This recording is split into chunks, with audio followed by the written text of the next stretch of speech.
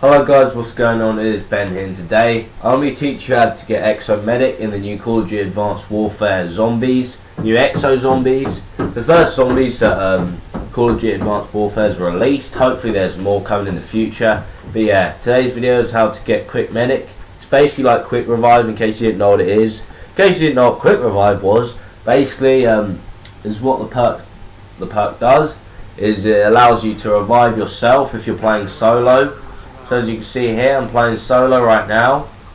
So what you want to do, you'll spawn in this little section. Right here, this is the power. You want to turn this on, press down X or I don't know what the fuck it is on, um, don't know what it is on PS3, but you'll know.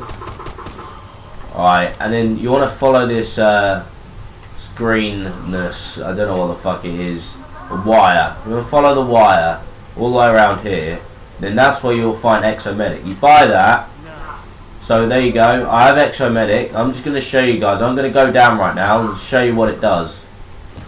Oh, it actually takes three hits. Didn't know that. But yeah.